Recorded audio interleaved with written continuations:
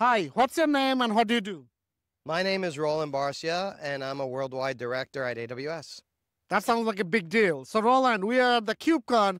What is the most exciting thing you learned at KubeCon? Well, there's a lot of things going on. I think the stuff we're doing with EKS Auto Mode, making it a lot easier to manage kind of the data plane. Hybrid nodes is pretty exciting. But I really like the buzz around MCP, the Model Context Protocol, and the fact that we're really living in an age around reusable components and generative AI coming together. That's really what excites me in seeing how people are kind of creating these applications on Kubernetes. Someone who is totally new to Gen AI, how can they start learning this stuff? It's like so much. Yeah, it's impossible.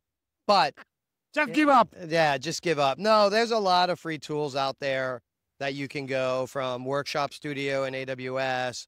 There's different tools. There's your channel. You're doing a lot of videos Let's as go. well. Let's go. I would say get hands on with things like AI programming and prompt engineering.